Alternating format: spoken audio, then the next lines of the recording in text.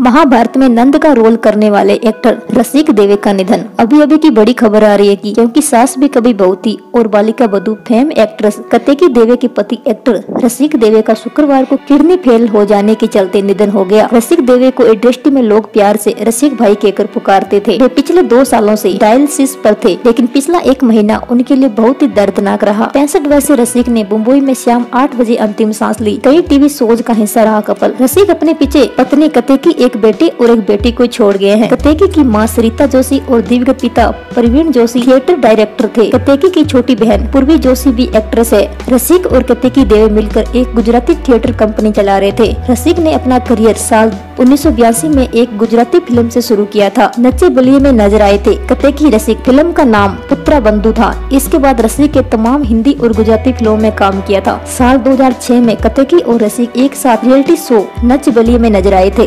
भगवान, उनकी आत्मा को शांति प्रदान करे। नए अपडेट के लिए चैनल को अभी सब्सक्राइब करें।